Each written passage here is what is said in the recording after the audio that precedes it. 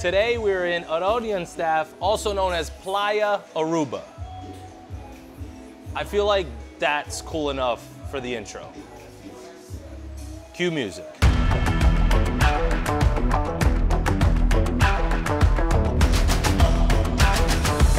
Virginia is for grubbers. We are back again with another old fashioned Friday episode. Today we have a, I always say it's a special episode. We have a very, very special episode because today we're in Staff, also known as Playa Aruba. And we're at Apotek, which is a speakeasy spot down a kind of narrow little alleyway right here in the capital of Aruba, where they have some of the best craft cocktails that you're gonna find on the entire island. I've, I haven't been in every bar on the island, but I would bet a lot of money that this place has the best cocktails on the island just by looking at what this guy just made us. And today we're gonna review the old fashioned. You guys know how this works. I'm on vacation, so I'm not trying to spend a lot of time editing this, so I'm gonna try to do this as fast as possible. You guys know how it works. It's zero to three on appearance, zero to three on first sip, zero to three on overall taste, zero through one on overall ambiance. I'm gonna do the ambiance first. This gets a full one. This place is literally the nicest, if not the nicest, I think, speakeasy and bar I've been to. That includes all of the places that I shot in Virginia. The attention to detail and the decor, the uh, prescription lineup of the recipe of the cocktails. The DJ table is a blackjack table. The lighting in here is just a whole mood and vibe. You're gonna see it fluctuate and change on me. It's unbelievable. Full one on that. Jump into the appearance. It's a smoked old fashioned made with Elijah Craig, a bitter blend, orange syrup, and hickory smoke. Everyone knows I'm a huge sucker for the presentation with the smoke. The presentation was out of this world.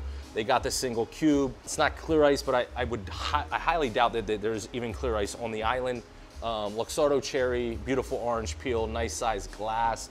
We're gonna go 285 off appearance. Here we go, first sip.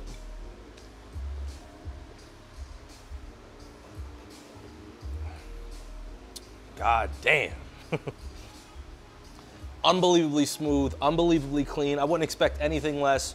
And it's not too smoky. Whenever I have a smoked old fashioned, I hate it when it tastes like a cigar. It's way, way, way too smoky. So you get a hint of the smoke, perfect amount of blend in my opinion. This is hard to beat. And again, if you go anywhere else on this island, you're not gonna get a cocktail like this. You're gonna get some fruity rum drink with 38 pineapple juices, apple juice, orange juice, cranberry juice, you're not gonna get something this clean. That to me is almost as good as it gets. I'm gonna go 295 off first sip, and then I'm gonna do overall taste. Here we go. Luxardo cherry, my favorite. Beautiful. I kind of want to enjoy this, but again, I, I, can't spend all day editing, so I, I have to do this as fast as possible. This is unbelievably good. I'm gonna keep the same score, 295. 9.75 out of 10. One of the highest scores we've ever reviewed uh, to date, and that, and we're not in Virginia, we're in Aruba.